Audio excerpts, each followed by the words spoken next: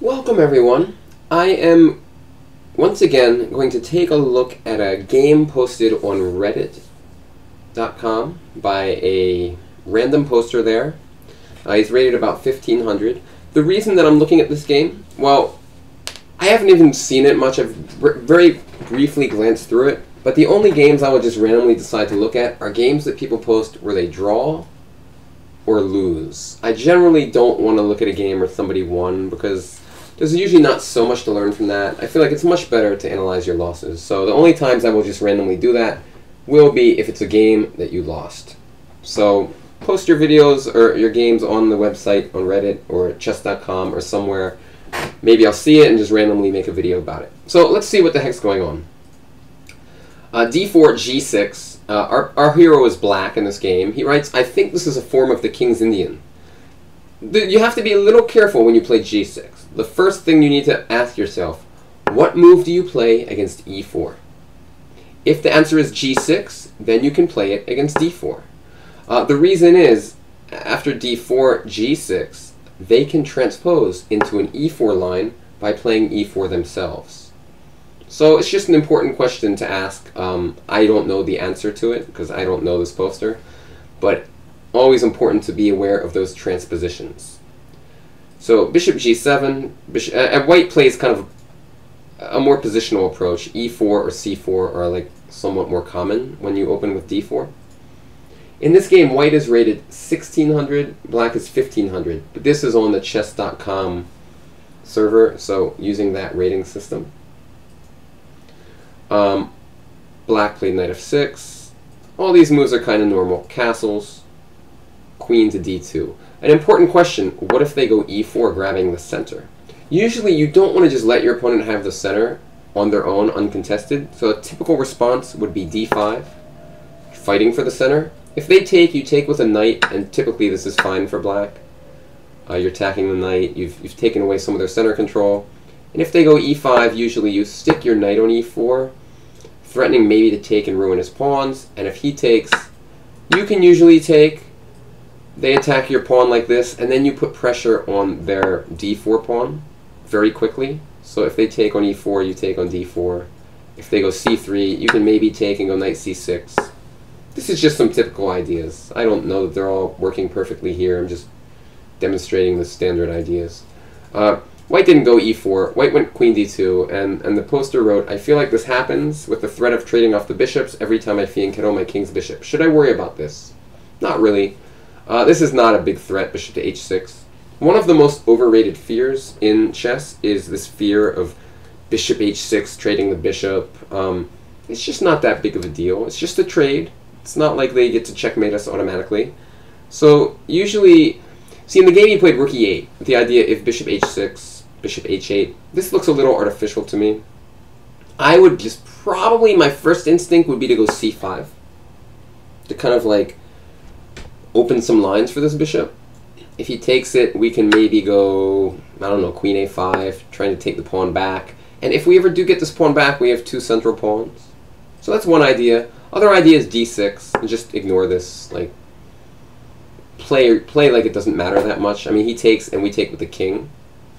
And then, you know, because sometimes in the King's Indian type position, we'll end up going like you know, just just for an example, we might end up going e5, right? And then at some point, let's just make some randomish moves. I just want to set up this type of position. All right, let's say like, I'm just trying to set up an example. So let's say something like this happens, where this bishop actually can get blocked sometimes, and it would be great to trade it off in, in situations like this. So, and again, don't think about uh, actual moves there. Like, I know I just made a bunch of random moves, just I wanted to show the structure. So, I, I think rook e8's a little, a little weird. I mean, it's not so bad, really. I mean, you probably want to do that move anyway, but I would just not worry about this bishop h6. Um, c5, and, and it, it's typically just an overrated fear. And, and just knowing that should help your chess a little bit. So bishop h6 was played, bishop h8 makes sense. Uh, he wrote if e4, Oh, actually, e4 was played. I apologize. And he's sort of not exactly sure how to proceed here, just protecting against e5. So he played d6 to kind of protect against e5. Again, the typical move is d5. It's a little, it's a little, it doesn't make the, the rook look very good on e8. So, I mean, I'm not, I'm not as happy about it now for many reasons. Number one, if c5, there's a move bishop c4 attacking f7. Um, and it's just, just kind of annoying. So when we go e6, there's holes in our position. So like now if we take with the pawn, like the knight comes to d6, slightly annoying. I mean, rook e8 was just not like the best move. So I actually think d5 now is a little risky. d6 is probably appropriate. Castle queenside, a6. He writes, this might be a waste, just keeping his knight and, bad bish and bishop off of b5. Um, I don't think it's a waste, but I don't think the point is to keep the knight or the bishop on b5. Um, I see no purpose whatsoever for his knight or his bishop to ever come to the square. The real reason behind this move is to complete our development with a move like b5, bishop b7, knight d7, and then maybe someday we start to attack on the queen side with c5.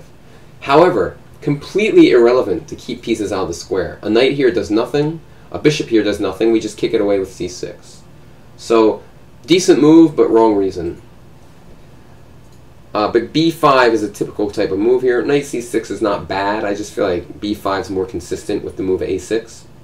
g4, and now our opponent, our, our hero gets creative. He plays the move. Knight takes g4 and writes, "This is what probably lost me the game. I kind of just wanted to make it interesting. Chess is for fun, right? I plan to get his g and h pawns along with his d pawn for my knight." I mean, to me, chess, the position's already interesting. You don't have to sacrifice a piece to make a chess game interesting. I think b5 is pretty appropriate here. Uh, by the way, I liked it before as well, because now we're actually sort of threatening maybe b4 followed by knight takes e4. So it's nice to make a somewhat developing move with a threat. And you may say it's not a developing move, but the bishop to b7 idea is is quite reasonable. So, but okay, in the game, knight c6, g4, knight takes g4. Yeah, I think it's like a little risky, although it's creative. He's right. Because uh, the idea is we're attacking the knight, and when he defends it, we take and we take on d4. I mean, honestly, it's not so bad. Uh, I don't, I don't see anything so horrible about it. It looks like black has reasonable play. So he played bishop to g4 here, and now I think is when white maybe, black maybe messed up a little bit here. That's the question, what do we do when we're down pawn, uh, three pawns for a piece? He has a piece, we have three pawns. Usually in the endgame, it's better than it is in the middle game, because pieces are good at attacking. Um, in the game, he played the move h5. The idea of getting the bishop off this diagonal and stopping any plans like where white attacks on h7. However, notice, white is not close to taking on h7. It's not like happening very soon. Although rook h2, rook h1, I guess that is kind of annoying. Like probably that attack comes pretty quickly. And that's the thing, when you give up your pieces, um, you're, you're opening, you give up your piece for a pawn, you are opening yourself up to an attack here. Like, just sacrificing something doesn't make it interesting. Like, I think that mode of thinking is a mistake and should be eliminated immediately. Like, saying the move, well, it's interesting, chess is supposed to be fun, chess is supposed to be interesting, etc., etc. That's not a way to play chess. You're, you're, the real reason to play chess is to try to play good moves. Um, and I don't think... I, I don't think it's a bad idea. It's like, it is interesting, but it shouldn't have been played.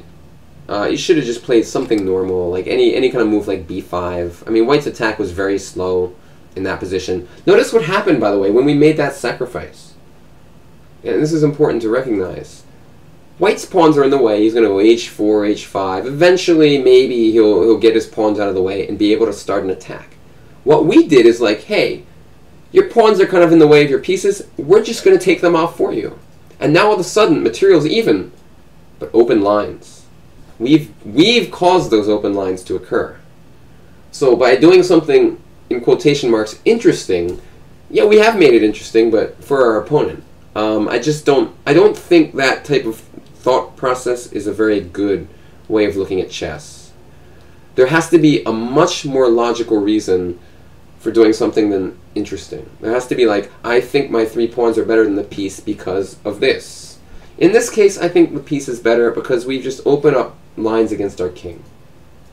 We have to have a reason for doing things. Um, h5, I think white played a very good move here. Just my instinct is that's good. Uh, bishop takes pawn. And after pawn takes, rook takes. Now black is the one who's up a pawn, but notice black's king. No pawns in front of it, only a bishop. This position looks very critical. I, I think the attack for white should be extremely hard to deal with. I mean, e5 is played, bishop h6. Now if we take, queen takes, it's going to be an absolute disaster. We're just going to get checkmated on h8. So he played, after bishop h6, he played knight f3. The idea he wrote was to play queen f6 with my knight blocking all the squares he wants to be on, g1 and g5. Interesting. Let's, but see, the thing about that, the knight on d4 is very strong right now. Why not queen here right away? Oh, rook g1. or, or maybe bishop takes. It's very scary. Very scary position. I mean, I don't see like a forced win, but maybe this move. I don't know, the queen f4 might save the day. But it's very close to losing. Like, just quick analysis. Rook check. Oh, we just lose the queen. Sorry. It's scary. It's very, very scary. Maybe knight f3 was it was a good idea, but again, I think the key mistake this game for sure was the sacrifice. It's just totally unnecessary. A and these types of moves, if eliminated, can hugely increase one's uh, ability if you just kind of resist temptation. And, and I think that was what had to happen here. Uh, knight f3, I kind of like the move. Queen f6. Oh, but no, this is a problem. Now white is winning. Yeah, he, he played bishop takes, king takes, rook f5, and wins the wins the knight. So, is there any hope here? Is the question we need to ask. God, probably not. Probably our just the attack is just way too strong. Oh, I think the best chance is rook e6. We need to somehow find a way to defend laterally, and, and maybe take... Mm, but this isn't going to work either. Hold on, let me make sure that the automatic recapture is forced. I think so.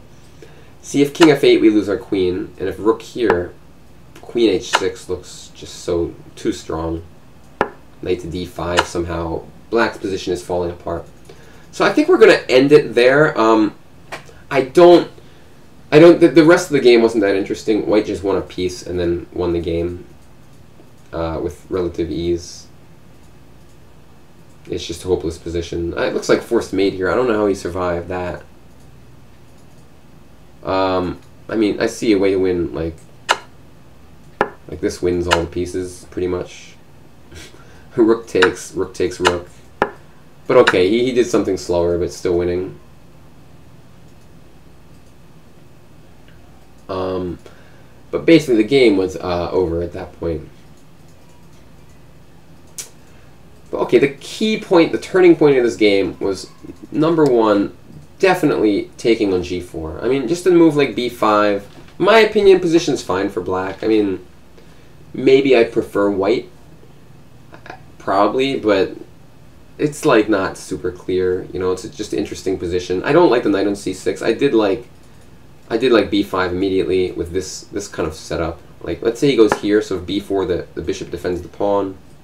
Bishop b7 attacking the pawn again. So b4 still a threat. a3 we're never worried about because he's weakened his king. So then we've he's created a hook where if we go b4 we start to open up his king like c5 and b4. So let's say he defends the pawn like like queen e2 or something. And then b4, the knight has to go back to like b1 though. Yeah, I mean this is just the typical way to play. Just put pressure on the e4 point. Uh, you've given him the center, so you need to like kind of attack it from the wings. And if e5, we go knight to d5. We have some decent play with our knight. This would have been a more appropriate plan. Knight c6 is not horrible by any means, though. This is uh, b5 again is probably good, although I, I really don't like the knight on c6 here. It doesn't really do anything. Kind of just gets in the way a little bit. But yeah, the main the main mistake was was knight takes g4 because white's trying to attack and you just open the lines for him. That's the thing. It's not about being interesting, not about being three pawns for a piece. It's what happens after that. What happens after that is white's pieces now have clear path against your king. So that's all I have to say about this game. I hope you guys enjoyed it, uh, and I look forward to doing this again on Reddit. Thanks guys for watching. See y'all later. Bye-bye.